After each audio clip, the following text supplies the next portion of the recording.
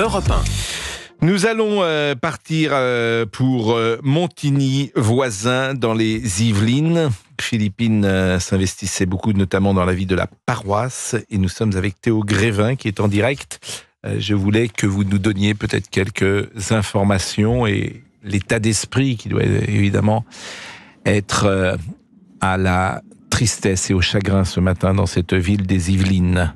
Théo, bonjour. Bonjour Pascal, oui écoutez je suis arrivé il y a une heure ici devant euh, cette église, l'église Saint-Pierre du Lac, donc dans les Yvelines. Et, vous le disiez c'est ici que Philippine euh, se rendait avec sa famille depuis, depuis toute petite, elle y venait avec son, son père, sa mère, ses cinq frères et sœurs et elle y était très investie. Alors depuis une heure j'ai rencontré quelques passants, ils m'ont expliqué que la, la paroisse et le curé de la paroisse leur avaient demandé de ne pas s'exprimer mais ils m'ont tout de même donné quelques informations puisqu'ils connaissaient bien Philippine vu qu'elle venait depuis très petite et elle était très investie dans cette paroisse. C'est ce qu'ils m'ont expliqué.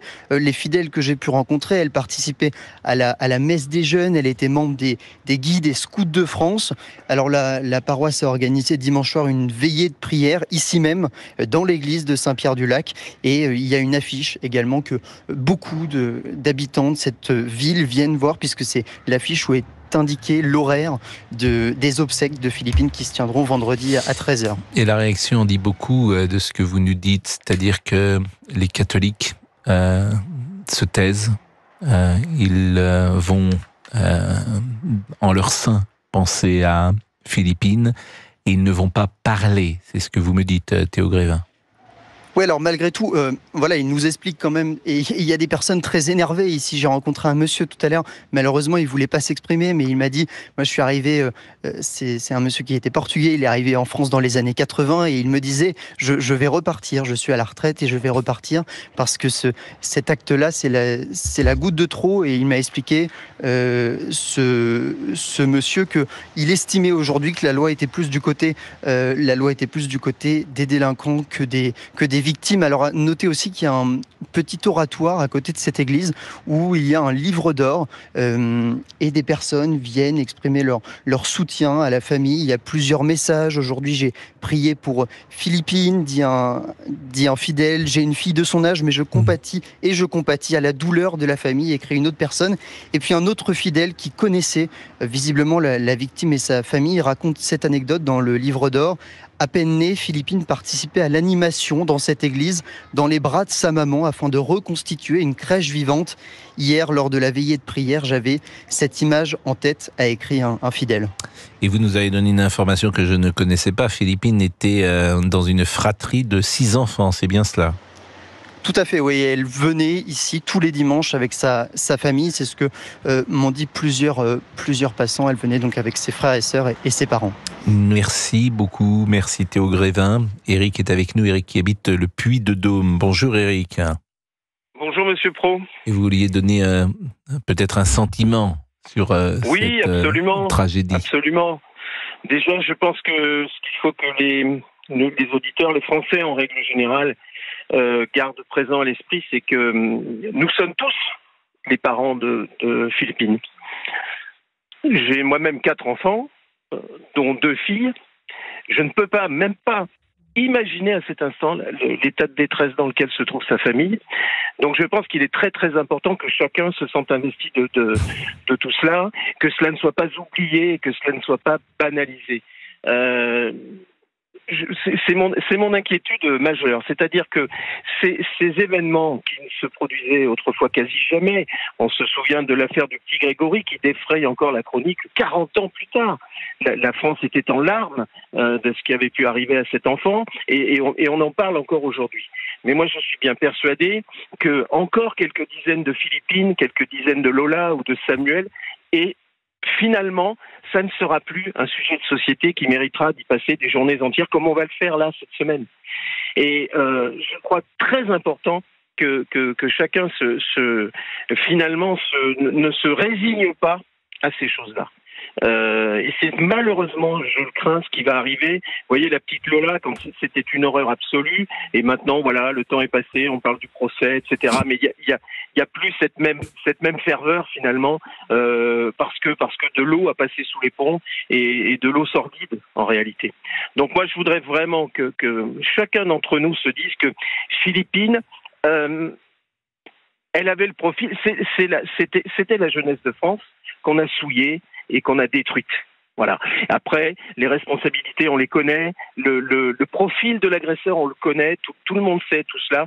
À nous de prendre les choses en main pour, pour que cela change. Ce, cela ne change pas. Et vous avez des solutions que... Ah, des solutions ah, Écoutez, je crois que les solutions existent. Les solutions, elles sont Quelles bien sont évidemment politiques. Oh, mais écoutez, on connaît le profil de l'agresseur, on en parle depuis ce matin, au QTF, euh, qui n'a pas été, euh, l'OQTF n'a pas été appliqué, euh, immigration illégale. Euh, le profil, reconnaissons-le, est quand même très souvent le même. J'entends bien, mais les, vos solutions, c'est ça qui m'intéresse. Selon vous, qu'est-ce qu'il la faut mise, faire La mise en, alors, je trouve que la justice, euh, pour être pour être laxiste, elle n'en existe pas moins. Nous avons aujourd'hui sur le territoire français, j'ai entendu cela ce matin, j'ai pas eu le temps de le vérifier, mais j'ai Vous entendu ne me parler. dites pas des de- solutions, parce que la difficulté de cette conversation, c'est Ah qu'est-ce que vous proposez Dehors. La solution, c'est dehors, en lettres majuscules. D-E-H-O-R-S. Bon, mais dehors, Dehors. qui est dehors Sept- euh, les OQTF Les 700 en 000. premier lieu. Les 700 000. 700 000 Bon, OQTF Et comment vous faites sur le Et territoire. comment vous Ah, faites comment Alors écoutez, je vais vous dire une chose, monsieur Pro. Moi, je ne suis pas aux affaires. Hmm. Donc, comment il faut faire? Je n'en sais rien. Mais je Bah trouve oui, incroyable qu'une hein. décision de justice. Non, mais ce n'est pas à trouver Non, des suis- solutions. Une, Hmm. une décision de justice a, a été donnée. On a dit à des gens vous devez quitter le territoire français. Mhm. La moindre des choses de la part des, des gens qui nous gouvernent et des gens qui, qui, qui font la justice dans ce pays, c'est de faire en sorte que les décisions qu'ils prennent soient appliquées et immédiatement. Et ça, moi, à mon, à mon humble niveau, j'ai des idées, mais des idées très simples. Vous savez, de- du genre, ben, on, le gars, on le prend, on le met dans un taxi, on l'amène à la frontière, un petit coup de pied au derrière et on le revoit plus jamais. Ça, c'est ma solution. Mais Ah, faut- évidemment- faut, euh, je crois, un- Eh non, ça peut bloquer. ça peut bloquer. Alors, on a des difficultés. alors, dans ce cas-là, Hmm. Dans ce cas-là, pourquoi ne pas convertir les, les OQTF en peine de prison jusqu'à ce que la, mais, l'é- l'éjection mais, mais toutes ces être- solutions euh, existent. Vous n'avez- mais c'est ce que je disais tout à l'heure. Il y a des territoires en dehors de la métropole qui pourraient accueillir effectivement des gens euh, qui sont euh, en, en attente de retourner dans leur pays. Je- J'entends ce que vous dites. Il est 11h42, on marque une pause et euh, nous sommes avec euh, euh, Alain. Alain qui est policier. Bonjour Alain.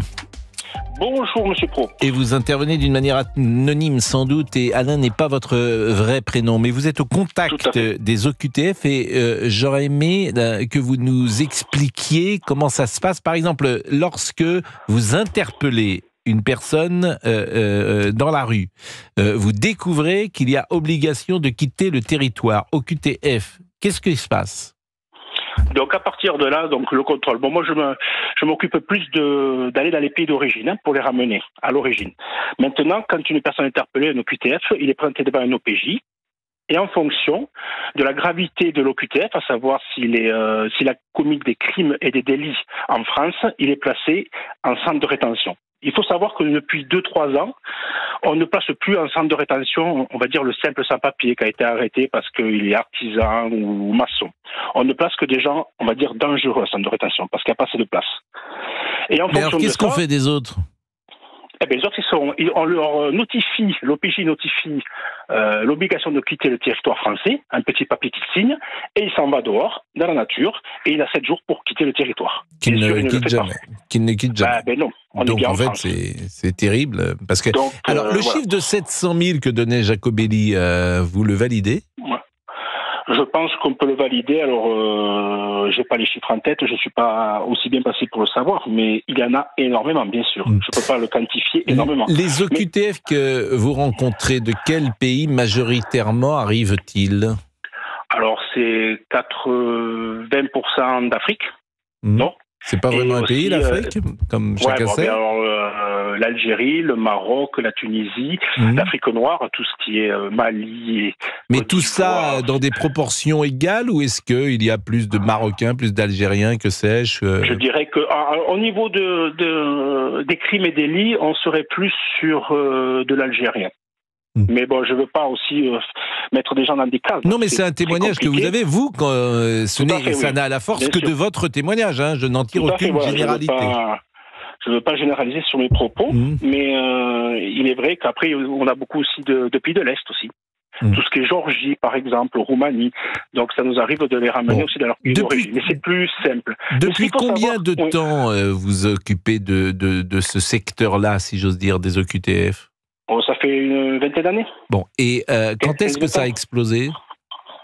Oh, je pense que c'est il y a 5-6 ans. Cinq, C'est assez ans. récent, c'est le sentiment que j'ai, c'est très récent en fait. C'est c'est récent, ça a toujours existé, mais si vous voulez, en centre de rétention, vous aviez un peu, euh, du- je- un peu tout le monde. Ça veut dire que vous avez le simple artisan, le simple maçon, le criminel, le, celui qui fait des délits. Maintenant, de rétention, on n'a vraiment que des cas euh, graves et difficiles à gérer. Mm. Et ensuite, je- je- j'entendais parler d'un de vos auditeurs, je crois que c'était Fab, euh, qui parlait de, de solutions, de, so- de solutions comme ça.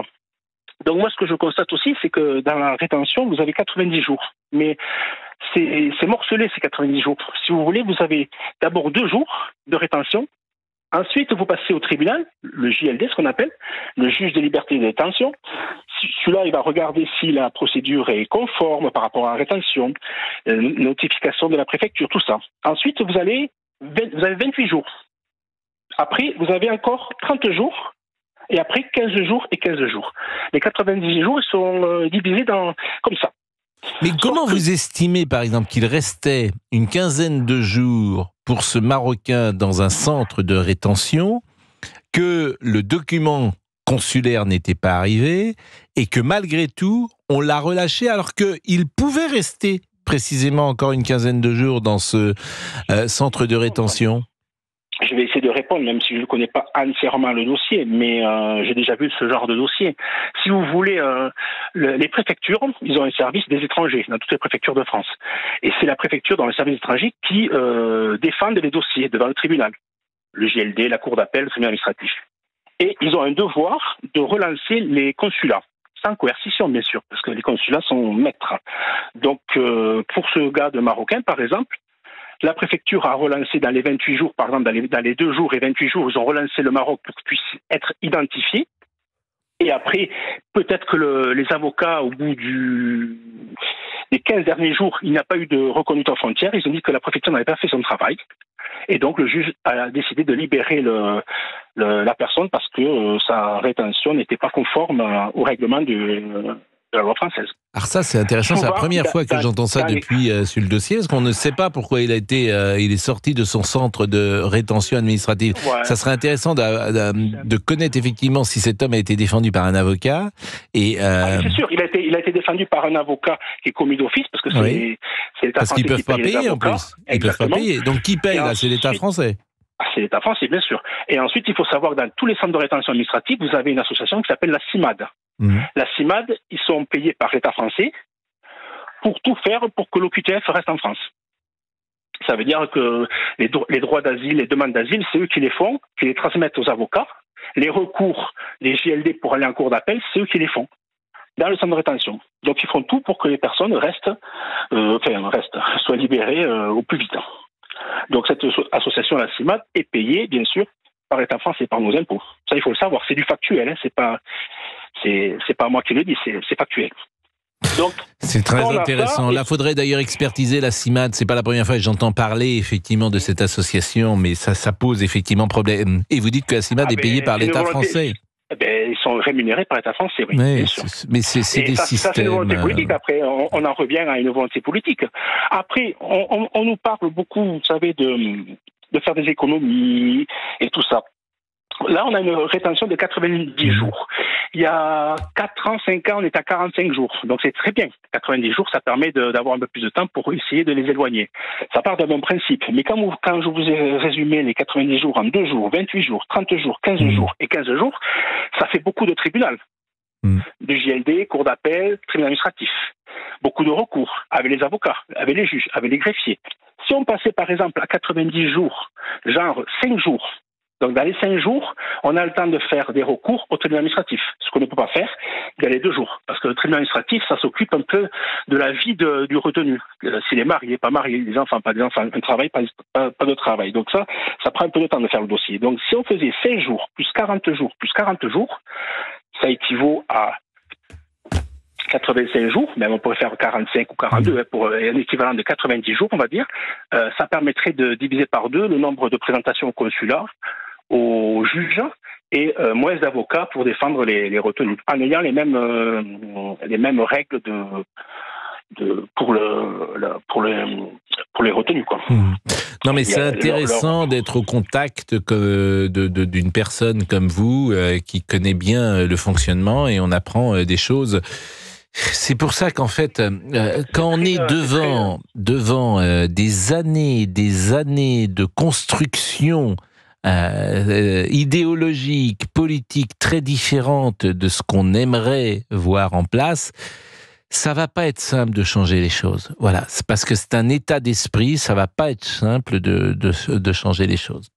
Bonjour, merci beaucoup euh, Alain. Bah, Sauf si vous voulez ajouter un, un mot, sauf si vous voulez ajouter quelque chose qu'on n'aurait pas dit sur ce sujet que vous connaissez si Non, bien. euh, après, il faut savoir quand même que dans toute la France, il y a des services d'escorte qui, dans tous les centres de rétention, qui s'occupent de ramener euh, ces fameuses OQTF, et j'en fais partie, et que notre tâche est parfois difficile, mais nous arrivons à, à avoir, à avoir un taux d'éloignement proche des 99% quand même, quand les personnes sont éloignées avec des policiers. Bon, bah écoutez, ça, ça, c'est au moins une note positive. Il est 11h56. Est-ce qu'on est avec Sabine ou est-ce que nous euh, marquons une pause avec le flash de 12h qui arrive?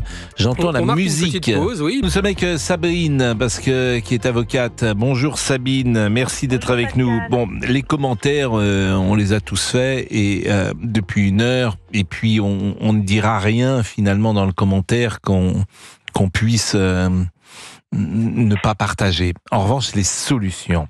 Quelles sont les solutions aujourd'hui pour un État comme la France, avec euh, sans doute des frontières passoires, avec un droit qui est quand même extrêmement favorable à ceux qui viennent de l'extérieur, avec euh, euh, avec euh, le, la Cour européenne des droits de l'homme notamment, avec le Conseil constitutionnel, avec euh, le Conseil d'État, etc., etc. Qu'est-ce qu'on fait? Ben, comme vous avez l'habitude de dire, Pascal, il faut changer de paradigme, il faut changer de logiciel, parce qu'en fait, là, je suis sûre que, alors très bien, celui qui l'a remis en liberté va avoir euh, euh, une enquête, enfin, qui va être euh, qui va être faite sur lui, mais je pense qu'on trouvera qu'il n'a pas transgressé la procédure. C'est-à-dire qu'il n'y a pas de faute, de responsabilité ou de faute. Il a, il a, la, la procédure a été respectée. Ce qui veut dire que les magistrats ont des choix parmi une procédure que la loi leur donne. C'est-à-dire donc c'est le Parlement qui donne la loi, c'est les politiques qui font la, la direction des, qui donnent le, le, le, le, le, le qui tentent la loi, l'idéologie. Et tant, qu'est-ce que vous voulez faire contre de l'idéologie? Mais je suis bien d'accord avec vous, mais qu'est-ce que qu'est-ce que vous proposez vous-même, vous qui êtes Eh ben, avocate ben, et qui avez quand même peut-être quelques idées Oui, ben alors, on- euh, moi je suis avocate, on, on voit bien ce que font les ravages des lois euh, de l'Europe et on remet Van der Leyen à l'Europe, en- à la tête de l'Europe. Mmh, mais rien ne Euh, change, je suis d'accord avec vous. euh, Avec rien- ces élections européennes, rien n'a changé. Donc, On a fait des élections, rien n'a changé. mmh, mais c'est au- peuple aussi de voter. hein, C'est au peuple le de, peuple- voter peuple- et de vouloir le changement. Moi, je pense que euh, euh, je pense que quand on a des médias qui toute la journée vous disent euh, vous vous êtes un bon si vous faites comme ça, vous vous êtes un mauvais si vous faites comme ça, et que tout le monde a envie instinctivement d'être un bon. Euh, donc, euh, on, vote par rapport à la satisfaction que ça nous donne, pas par rapport à la réflexion qu'on en a. Euh, je, je, reste, je reste persuadée de ça. Donc, de toute manière, les procédures telles, telles que Alain vous les a décrites, hein, elles sont respectées, elles sont hallucinantes. Parce qu'on est peut-être l'un des seuls pays, euh, euh, enfin l'Europe, euh, qui faire ça. Bon, mais Sabine, je-. Sabine, si vous me permettez, je vous trouve un peu technique ou juridique. Moi, euh, j'ai besoin forcément Alors, de, de, de la choses solution, plus. la, Oui. la, solu- la solution, ce serait effectivement que euh, on, on, on mette des les, les OQTF qu'on les enferme quoi qu'il arrive. Voilà. Quoi qu'il arrive, Voilà. c'est la Donc solution. ça, donc faut-il enfermer Voilà. Faut-il enfermer Exactement. Soit vous voulez partir de votre plein gré dans votre pays, Bien sûr. soit vous êtes enfermé tout le temps. Je suis d'accord, ben voilà. Alors, pas- alors il y en a 700 000, on va dire que c'est pas possible. Donc, euh, C'est pas politiquement correct. Bah, Bien sûr que si, tout est possible. ah bah non, s'il y en a dis- 700 000, il y en a 700 000. S'il y en a 700 Mais 000, moi, il y en a pas, on a 60 000 places. Mais en revanche, on peut euh, effectivement Mais c'est une question de imaginer. volonté. euh, oui. C'est une question Bon. de volonté. David est là. Donc la, vé- la vérité, c'est cela. Voilà, Pascal. Hmm. Bon, merci beaucoup Sabine. David, David est là. Euh, bonjour euh, David. Oui, bonjour. Et, et merci d'être avec nous. Vous vouliez témoigner. Vous avez une fille qui a 14 ans, je crois. Oui, c'est ça, elle vient de les avoir. Bon. Euh, vous êtes inquiète pour elle? Vous êtes inquiet pour je elle? suis inquiet Ah oui, je suis, oui, je suis très inquiet pour elle. Vous inquiet vivez pour où? toutes les gamines de France d'ailleurs. Vous vivez où? Euh, Vaucluse.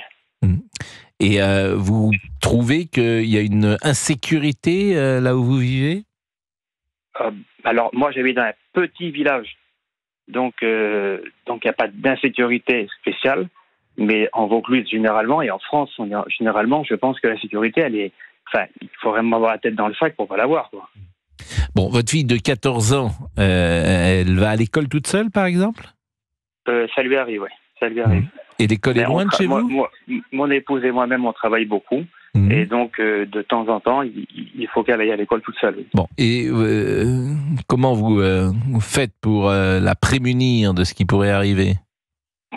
Pour la prémunir, je vais être un petit peu, comment dire, cash. Donc on, on lui parle beaucoup, on lui parle beaucoup. Et c'est bien simple, elle est armée. Mais ça veut dire quoi, armée? Ça veut dire qu'elle a un, un- elle a un 635.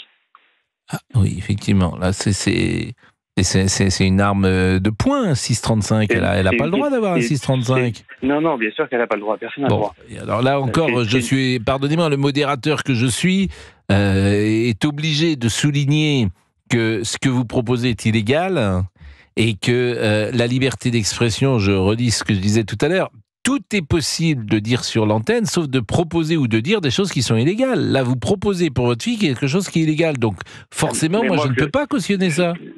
Je ne peux pas, le, modérateur que je suis ne peut pas cautionner ça, puisque euh, si euh, l'ARCOM m'écoute, ben, l'ARCOM dira, euh, Monsieur Pro, euh, vous n'avez pas euh, souligné que ce que propose David est parfaitement illégal et dangereux. Et, et pour tout dire, alors, je pense pas non plus, si vous me permettez, j'a- j'aime pas donner euh, de conseils personnels aux uns aux autres, parce que vous êtes un père comme moi, etc. Je pense pas que ce soit une solution et je pense que votre fille, vous la mettez peut-être plus en danger qu'autre chose avec ça. Mais bon, ça c'est un commentaire On a- personnel. On a, des, on a divergences d'opinion. Moi, je pense que. Ah oui, un qu'elle est 635 à un gosse de qu'elle est- 14 ans, euh, je- Alors, alors, alors c'est c'est une. Vous ne connaissez pas spécialement les armes, j'imagine? Non, pas du tout. J'ai jamais eu une arme dans ma vie. C'est une, toute petite. Moi non plus, je suis pas armé d'ailleurs. hein. C'est une toute petite arme. Hmm. Euh, on dirait, on dirait littéralement un jouet, pratiquement un jouet. Hmm. Euh, ça Bon, tire je- des, des moi, ce que je vous propose, c'est qu'on pro- munitions. prolonge pas forcément. J'entends ce que vous dites. Je vous remercie d'avoir appelé, David. J'aime pas faire ça et dire ça parce que c'est pas agréable de de de, de- de couper ou d'arrêter la conversation. C'est difficile, je le répète, pour une antenne comme celle d'Europe 1, d'entendre un père qui propose une solution qui est illégale et qui euh, contrevient à la loi. Je vous remercie néanmoins de nous avoir appelés. Euh, Monsieur Olivier Guénec, si vous pouviez penser à moi de temps en temps, parce que euh, forcément, euh, les, les, les paroles qui sortent de, euh, la loi, elles sont difficiles. J'avais mal saisi le témoignage de David, Pascal. Euh, Forcément, et- mais non, mais je, je vous en prie, mais et, et j'ai rien contre David. En plus, je suis, je suis ennuyé de dire Bien ça sûr, parce que je n'aime pas être dans la position du censeur moral. C'est pas vraiment une, euh, position agréable, mais la loi, en fait, ce qui doit tous nous guider dans nos euh, entreprises et c'est vrai dans nos vies aussi, c'est la loi. Voilà.